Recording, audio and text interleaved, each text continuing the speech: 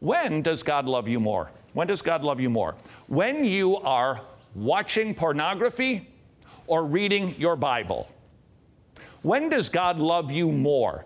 When you are praying and talking to God or gossiping?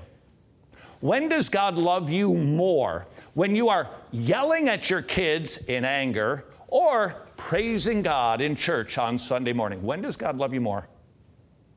The answer is He never loves you more, and He never loves you less. John 17, God the Father loves you as much as He loves the Son because you are in the Son, and God loves you with the same love that He has for the Son. That is dangerous.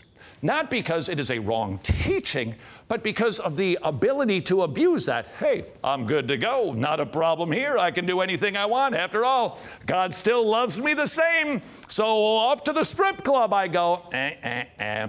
If you're a true Christian, you won't think like that. You won't go on sinning that grace might more abound.